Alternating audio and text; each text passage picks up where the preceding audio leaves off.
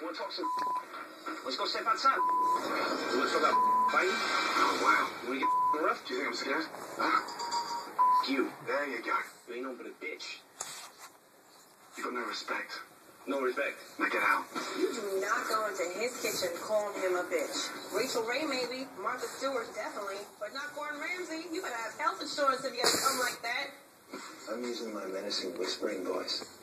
You got no respect. As if I start screaming all my souffles will deflate.